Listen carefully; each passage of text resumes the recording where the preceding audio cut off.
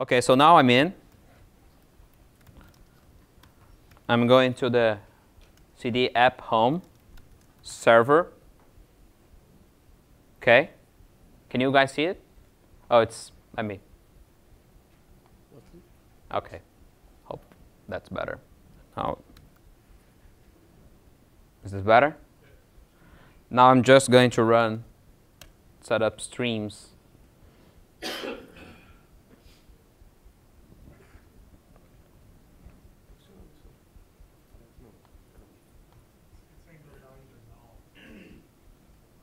Complaining about Spring XD something?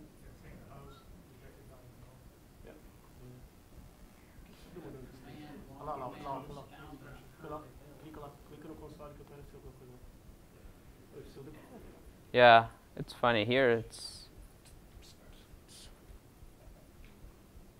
Deployed. You, you guys have Geode up and running, right? No, anyway, shouldn't complain about the host. Yeah. Um, Because I'm using the VM here as well. it's weird. Deploying model ACP. Seem to have deployed everything. Yeah, Any? here actually it, it worked. Does it? Does this step works for for someone? For anyone? The setup streams after fixing the path. Nope. No one. That didn't work for me, so I had to just copy all the source and sink and everything works. And then it works. Yeah, I copied it manually. You can just symbolic link to that. I, I'm sorry, just, but that's how it worked for. I just co- I went over to the XP directory, found the sink It's, but it's, it's, yeah, it should be only the variable anyway, but. Mm-hmm. You did. So the the solution you did was to come here and copy, right? Yeah. Okay, yeah. It, so it shouldn't be required. It's kind of that, that's more when you are actually implementing your own modules. So the the, the export should actually. Oops. No, it's not this one. Oh, I have run it there. So this export here should should fix that. So if you run this and then start the single node, that should be okay.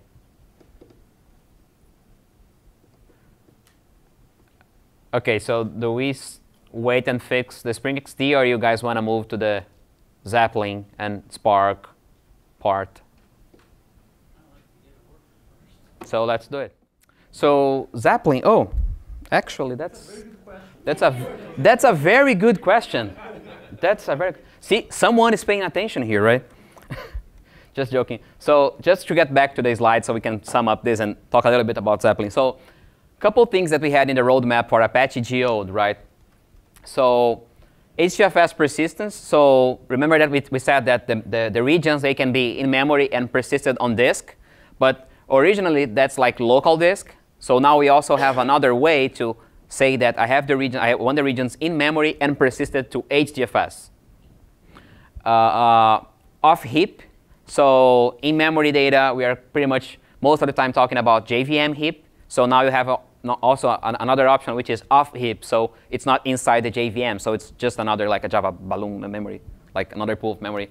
Uh, Lucene search. So you can do like something similar to Elasticsearch, but with data in, in Geode. Spark integration, which is the thing we are going to play here with Zeppelin. And the Cloud Foundry service, right? So just very quick uh, recap on, on, on Spark. So who, who, who here is familiar with Spark, Apache Spark? No one? Someone? OK, a Phil. So, but heard about it maybe? Uh, OK, great. So, well, nice. I tried to summarize it in a phrase here, I think. So Spark is this kind of uh, uh, streaming and distributed processing framework uh, under Apache that is now very popular. And it's, it's has a bunch of benchmarks and proven that it's like way faster than, than original MapReduce and, and whatnot. And the reason for that is that most of the processing they do is actually in memory. Uh, they have their own data structures for that. It's called an RDD, uh, which is resilient. Help me here, Jincha. I always forgot RDD. Resilient something data. Yeah, well, whatever. It's another ac- acronym, right? So the thing about the RDD is that it's, it's, a, it's a data structure that you can define all the steps you are going to do with an RDD before it actually grabs the data, before it actually interacts with the data. So it's like saying, well, whenever I'm doing this with this table, I want to filter the ones that have a certain property, and then I want to, the result of that, I want to do another step, which is transform to something else, and then I actually want to execute the job. So you do all these steps, and then just in the final step, when you say, for example, collect or execute or something, it's going to actually actually hit the servers and start filtering and executing, right? So that's that's kind of one way to summarize it. And then what we are doing with Geode is, is providing a way to, to export regions, so data that we have inside Geode as RDDs for Spark. So if you are using the Spark API, for you it's, it seems that you are just using RDDs. You don't, you don't know that it's Geode under the hoods. Uh, and also, of course, after you do this processing or this, this transformations in Spark, you may want to persist this back to some data store because Spark is a processing framework. It's not actually a, a, a, a way to store data itself, right? Most of the time, uh, you are dealing with HDFS, but then HDFS is not that fast. So Geode is a, is a better alternative here, right? Because it's in memory. Uh, and another functionality of the Spark connector is that you can use those queries that we did using gfsh in Geode. You can execute that inside Spark. For those that are not familiar with Spark 2, I guess it's important to say that Spark it's, has its core, which is RDDs and whatnot, but then it has, sub, it has some sub-projects, right? Like Spark SQL, Spark Streaming, Spark Machine Learning, uh, and something to run R in Spark, Spark and R. something to run Python in Spark. So it's like a bunch of satellites uh, or sub-projects, right, as part of the Spark as well. And with that, you can kind of you, you, you can kind of use Geode OQL with Spark SQL and just execute like SQL from Spark, reading data from Geode. Seems a lot of uh, it's a lot of uh, uh, uh, concepts I know, but as a quick intro, right? And then there's Zeppelin. So Zeppelin is another way to interact with, with Spark, which is pretty much so. Are you guys familiar with Scala? So Scala has a REPL, right? This terminal that you can pretty much like do everything, like program in the terminal if you want. Uh, so Zeppelin is pretty much the same thing, but web-based. So you, you can use like, you can write Scala, or in this case, Spark code using a web interface, and you hit like execute, and then it's going to call Spark and do, and all, all the processing in the back. Uh, it has a bunch of interpreters, for example, uh, Spark, but you can also do like Markdown if you want, Flink, Python, and other stuff. Yeah, I know. Vai pra dentro. Uh, so Spark, Geode, Demo. uh, demo, right? So quick, Sure. The value of that is just going to do it, like, rapid experimentation. The Zeppelin? Yes. Yeah. Yes. Exactly that. What port does it like to be listening on because it's like already in use? Sorry? Which port does that like by default? Oh, 8080. The, the port? Yeah, somebody's using on my Vagrant box. Probably a previous. If you started the web console, I think that's all. Oh, yeah. That's why I skipped. I just want to kill that thing. Yeah, if you had the web console running, you might want to stop that. Exactly. Thank you, Dan.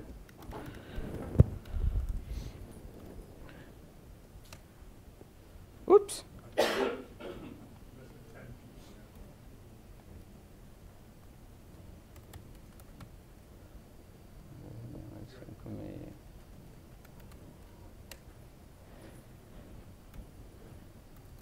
Tá rodando? Okay.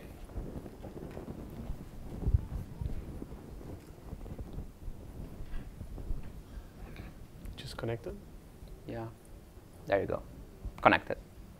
Okay. So you can hit this URL here, which is pretty much the default port. Are you guys with the connected green thing? Mhm. Okay, great. Go for it. So now we have this IoT lab note here. There's a lot of stuff here. I know. and we have to fix some paths. But that's part of the lab. That would be like the exercise, right? I'll kind of help you guys here cheat a little bit Well, because of the time. Yeah, do quick. Uh,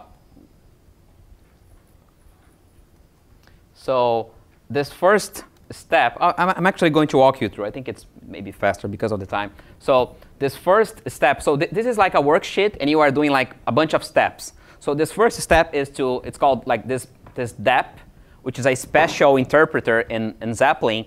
That means that I'm making all these jars available in the class path. So for example, here I have the Gemfire, because of course I'm connecting to, to Gemfire or to Geode, and the, the, the connector itself, and then my, my data objects, right? The probe requests from the Raspberry Pi. So I have these three jars provision, and after you, you write all this, you click run, boom, it's in, your, it's in your class path now. You don't have to restart or do anything else. Then the next step here, I was just experimenting, for example, running some queries using the Spark connector, the Geode Spark connector API. So I was running a few queries. I could just play with that a little bit.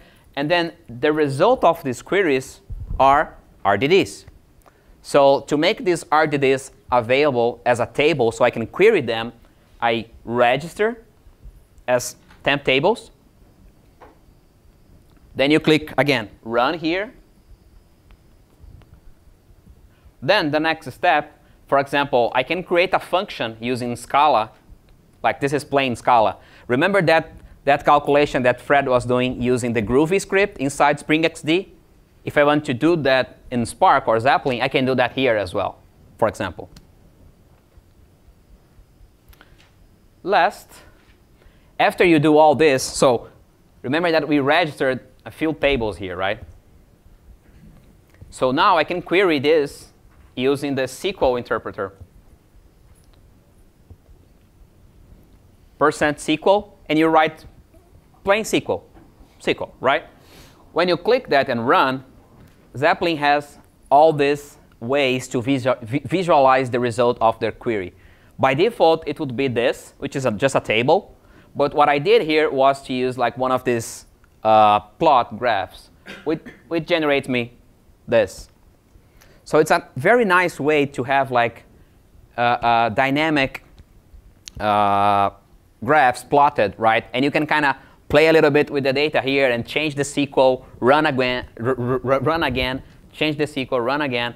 If you, for example, uh, hover any of this, for example, here we have all the devices, and I'm just, for example, grouping by the PID. So I know like for each Pi that I'm using here, I'm grouping all the devices around there.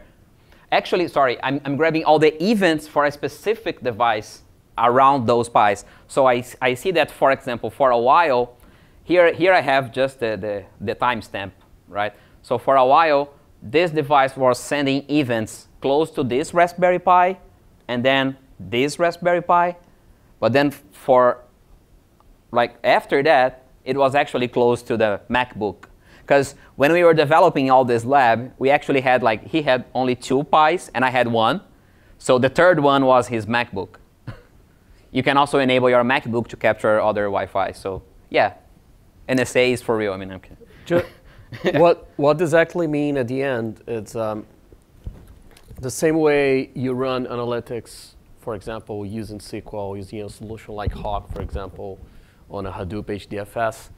If you have an in-memory data grid, there's actually in-memory, really low latency, high scalability, high number of transactions, volumes.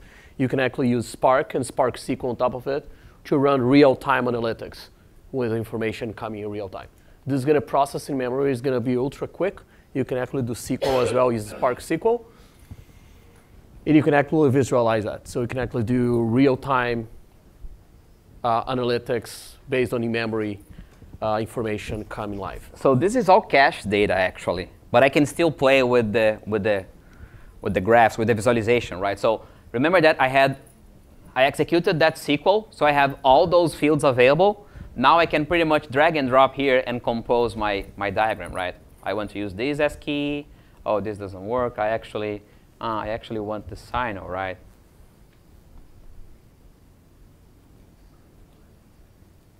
Let me. And then you can keep experimenting with the data, right? As you go. And then you say, ah, you know what? Okay, so this looks good in a bar chart, but I actually may want to generate a pie chart. So sure, here's how it would, would look like. So the idea for Zeppelin would be to, you experiment, you run all these steps, you, here's your code, but then there are a couple options here that you can hide it and make it look like a report. So for example, the first thing I have here, right, this IoT lab, this is the name, but I can, I can write like markdowns if I want as well. And you can write like, it's pretty much like a report. It's, it's an HTML page. And you experiment with the data, do some processing, run the query, plot a graph, and say, oh, okay, great, this is a, this is a, a, a nice HTML page. You export the HTML page and deliver that as a, as a report. Uh, Uh, really, really silly sure. There are no silly questions. Spark, or is it connecting to Geode? Sorry? Is it connecting to Geode? Spark. It's running Spark Running Spark? and connecting to Geode. That's the, the, the beauty of it because on the back, uh, when every time I run the query actually re uh, here, for example, I'm getting the SQL context from Spark and firing a query against Geode. So it goes to Geode, grab the data, and then if I had to do any processing or the SQL itself, it's executing here using the Spark engine. And, it, and Spark was started when I did set up, uh, when I clicked, when I, when I did Zeppelin, so that it- Yes, when you start Zeppelin, it already embeds Spark libraries for you, so you can kind of do this iterative development using Spark. So think, think about it, for example, when you are actually doing Spark, if you just go to the Spark like uh, uh, documentation, like the, the introduction, right? You, you start a Scala shell, Scala REPL, right? Which just is a Scala REPL with the Spark libraries available, right? And then you are pretty much writing on the console everything I'm writing here. That's kind of similar thing. So it's like running a local uh, Spark cluster, but just local, single node, so you can experiment with the data. But let's say you actually have a Spark cluster with, I don't know, any node to have masters, servers, slaves, and whatnot. You can come to the interpreters here and set up the Spark context and say, hey, you know what? My Spark master or the, the I forgot, the, where is the property? Here, master. The master is not local. It's this thing running out there that has, I don't know, 1,000 nodes, whatever. And then you're pretty much experimenting with the data there. So because Spark has this, con this concept that whenever you are writing an app for Spark, you write everything here local, and then you dispatch this job to execute there, right? It's pretty much like dispatching like a jar, using like Yarn, if you're familiar with, with Hadoop. It's kind of similar concept, but then using Spark. Temos cinco minutos. Quer que morra? We have Posso fazer a- five minutes. Deixa eu logar aqui de novo para moça fazer um wrap Do you want to see the, the, the demo running again? Do you want to do Q&A? Do you, want, to try to set up Do you want to do Zeppelin? a wrap up on the demo? What do you guys want to do? The thing about Zeppelin is that we have, so there is a, the, re, the README file I was showing you guys before. Gente que não viu, sacou? Where is the README file? There you go. Has all the steps. So it's all available on GitHub. And also another another thing that I think it's important, uh, just if you are going to play at home, uh, here I have all the steps to start the things and set up and blah blah blah. And here how you would set up a VM, like Ubuntu based, like a host using Ubuntu. These are all the steps you have to do to set up like another box like RVM, maybe better. RVM had some glitches. And the last thing, and then I'll switch to Fred. There is also this Raspberry Pi ADOC, which is which are the steps you have to do inside the Pi in order to enable uh, the Wi-Fi monitoring. Unfortunately, we don't have like Pis for everybody, but it like has all the steps. If you guys have any questions, just Yeah, and it will be around for a while. I mean, if you have any other questions. Twitter, email. Your cell phone? Yep. Let him So wrap up. just because some people haven't seen it, and actually I would like to make a wrap up to everything you've seen. Um, we have basically XD running here, right? Just started playing. It has no streams running. Let's check that on the web interface. Refresh. No streams running in XD. XD is clean. I have actually a gfsh, or Geode, sorry, started with the regions here, but it has no data other than uh, basically a simulation. It's not any data on uh, basically on the Pis or everything. So what we're gonna do is start the web interface and deploy a stream that is going to listen to the Pis on the port 9000, applies that splitter, that transformation that adds the distance, the same one we did, and after that send the data to Gemfire on the region called probe requests using the timestamp as a key, so we don't keep uh, basically adding, uh, replacing information, just adding it.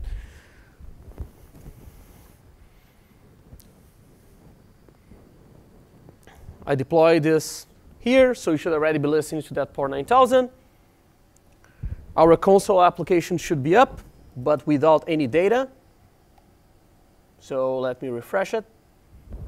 Yep, it's clean. Now what we're going to do, let's go to the Pis. I'm connected to them here. And I'm going to start the client on the three Raspberry Pis. It's going to take a few seconds to start. You start to get the information on the XD, start to geode, calculate the distance, calculate the location, and show on the dashboard. Again, it's basically compiling the source code, takes a few seconds to start the Gradle.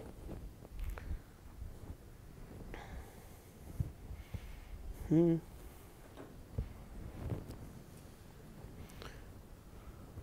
Starting, starting, starting,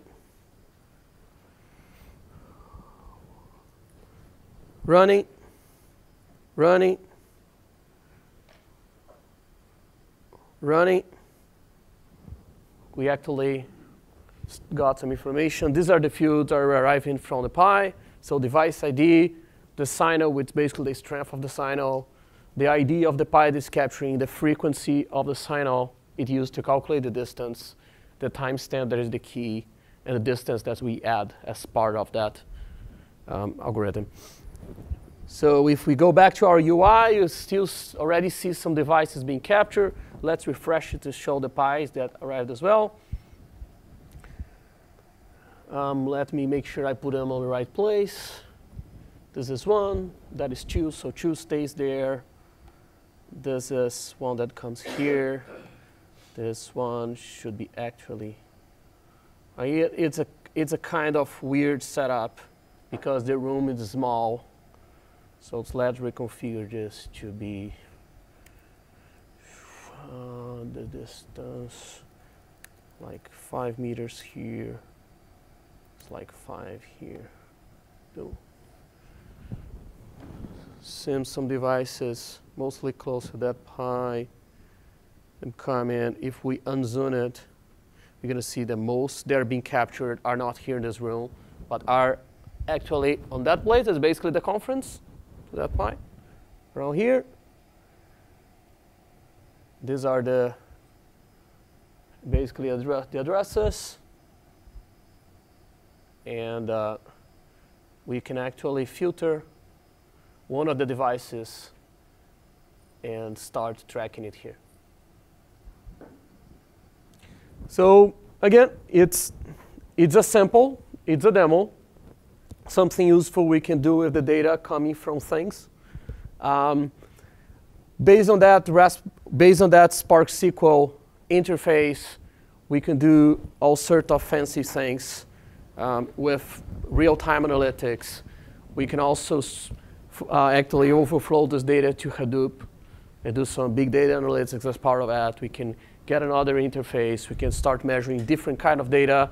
Those devices can attach different sensors to cap different kind of data. It's just a very easy setup for a first IoT complete solution. For, for, for the next time, we're also thinking about doing part of the processing we are doing in Spring XD in Spark itself, and maybe like leverage some machine learning as well to do like a, mo- a more accurate prediction about like where the devices are going using the Spark script. But yeah, Uh, I guess that's it. I'd like to thank you all for the patience, like the lab and the zips and the VMs and whatever. nine different technologies. Yeah, So it's a lot of stuff, I know. It's a lot of stuff. It's all cool. We wanted to make it very broad, but Yeah. thank you. Any, any, any final questions before we wrap up? And we are here for getting any questions. Thank you. Thank you.